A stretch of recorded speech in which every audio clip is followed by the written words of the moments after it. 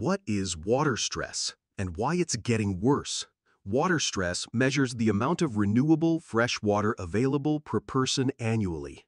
Many countries around the world are facing water stress, especially those with large populations and limited water resources. Think Middle East, Mediterranean regions, southern U.S. states, and Australia. There are two types of water stress. Physical water stress, when natural water supply can't meet demand, common in dry, densely populated areas, and economic water stress, when water exists but poor infrastructure, lack of funding, or weak governance prevent people from accessing it. Fighting water stress isn't just about having water, it's about managing it wisely.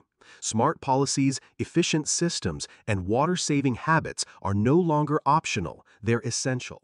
Follow Environmental Science and Engineering podcast channel for more science-backed content, and don't forget to like and share.